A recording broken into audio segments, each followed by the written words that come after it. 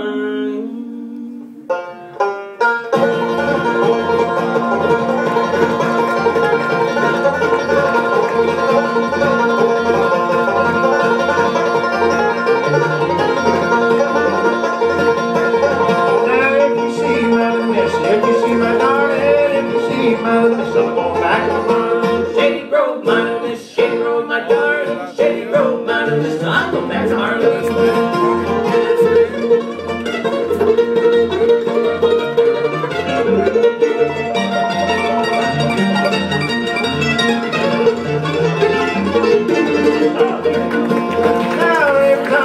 now. It's always dark out here. every time I see the camera on the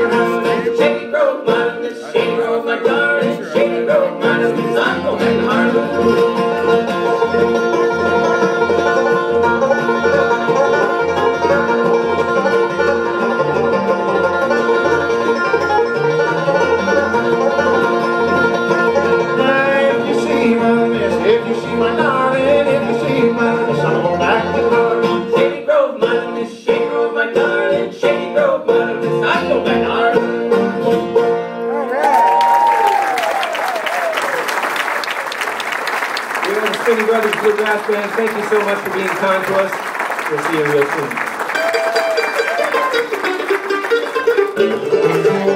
soon.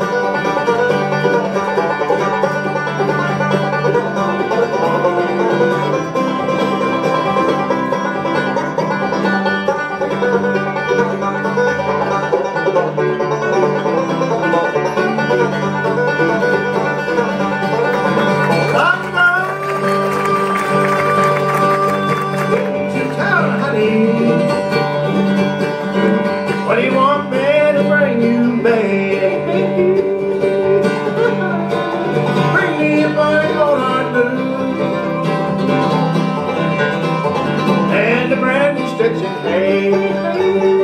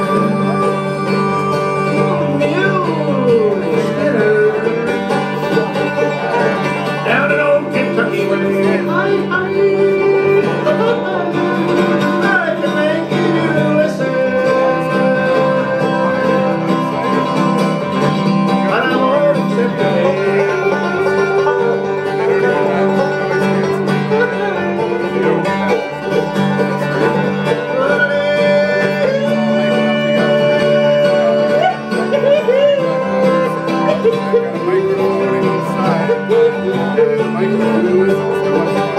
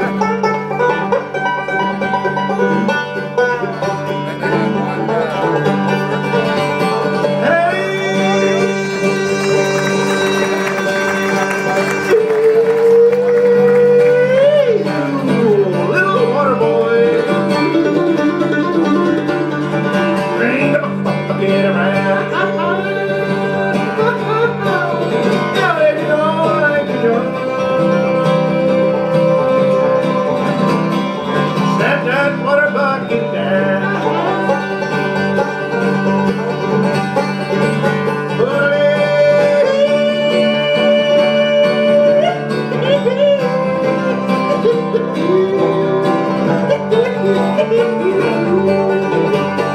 folks, on behalf of our good-looking, sexy man, Daryl over here on the bass doing a great job. Give applause. Very fight machine, Mr. Gary on the mandolin. Big brother Alan Spinney singing some of that high lonesome for you there. I'm Rick Spinney with the Spinney Brothers. Thanks a lot, folks. We really appreciate it. Mentioned or not, but uh, earlier on the show, Alan and I both are uh, native to Ontario, both born in Hamilton, Ontario, and uh, it's been like a homecoming this whole tour so far, so uh, we'd like to thank each and every one of you for that. But not far from where we live uh, was born a man that did some wonderful things with country music. He's known as Wilf Carter or Montana Slim, did some great yodeling in his time. Alan does a great rendition of the Swiss Moonlight Lullaby. Thanks again, folks.